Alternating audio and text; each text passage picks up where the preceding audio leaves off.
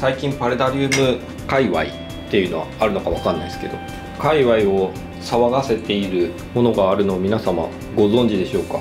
なんとですねダイソーからとんでもない商品が出てみんな躍起になって躍起になって。探し回ってるものがあります。それがなんとダイソーのこのガラス容器。これはすごくてですね何がすごいかというと220円税込みです。220円。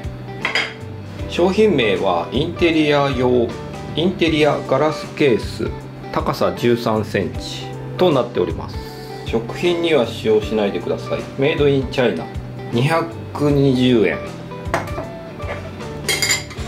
これエディエのガラスポット丸っていうやつなんですけどこれがですねドゥーアにリニューアルされてここのロゴがドゥーアになったんですけどそれの価格いくらかご存知でしょうか？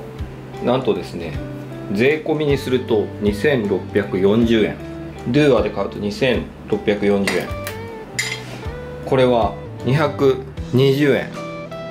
ということで少し騒ぎになっております。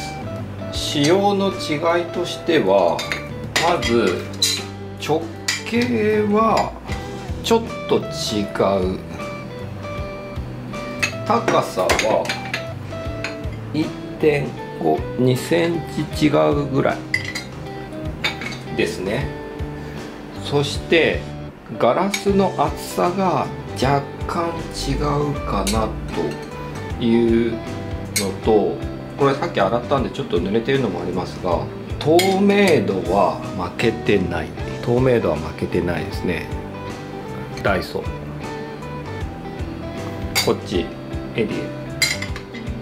これはですね無印良品ガラス小物入れ中っていう昔売ってたもう絶版のやつですがこれは小の方ですね。これも600円とかしたのでこの220円は衝撃価格であると。比べるとうん無印のと似てるのでなんか同じ中国で作ったんじゃないかと。これも中国かもしれませんが。で単純に比較しても透明度全然負けてないんですよね。大きさがちょっとちっちゃいぐらいなんですが大きさが小さいのはメリットのこともあるので衝撃であると。他にも出てましてインテリアガラスケース高さ2センチ版というのが出てます。2センチ。これ蓋のサイズは同じです。全部。なのでこのガラスポットによくありがちなことなんですけどこれをですね落としたりとかここれの上に何かが落ちてこれが割れるっていうことが結構あります。僕は丸のこれを3個ぐらい割っちゃってます。なのでこれを買う時にもしこれが売ってたらこっちは100円だったっけ？値段忘れましたがこれも買っておくと蓋のスペアになるのでおすすめと。もう一つこっちも200円。これこれ多分100円ですね。200円って書いてないんで。こっちに 100, 100円。高さ5.5っていうのも売ってます。これはギリギリなんかコケリウムみたいなできるかなというサイズでございますが。これも蓋同じなんですよ。なので蓋は必ず割るので必ず？割んない人もいるか。この100円版で蓋を確保しておくってこと。あとこれ蓋にこっちも蓋になるんですよ。下なんですけど。なので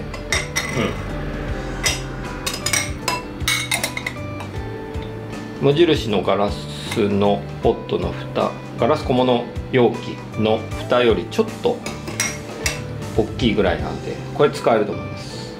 あこれどれがどれか分かんなくなった。もう一つサイズがあって4種類あるらしいんですけどこれよりちょっと高いのがあって。僕は3つしか入手できませんでした。あ。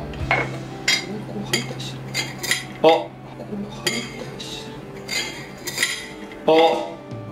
ちょっと衝撃の事実としてガラスポット丸の蓋として機能することが判明しました。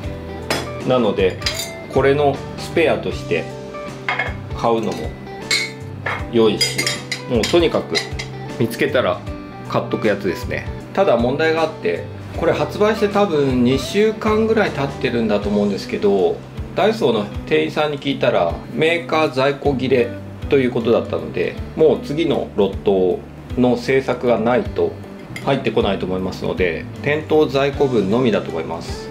なのでこの動画をもう今見てらっしゃっても急いでダイソーに行った方がいいと思います。僕のチャンネルはパルダリウムを作って発信しているんですが実は1個だけお化けみたいに再生された動画があってそれはこれこの無印のガラス小物容器中で作ったコケリウムが一番人気だという本当にパルダリウムチャンネルなのかっていう疑問が出てくるんですけどなので2匹目の土壌を狙ってこれかこれでコケリウムを作るっていう動画をやろうかなと思ったり思わなかったりしています。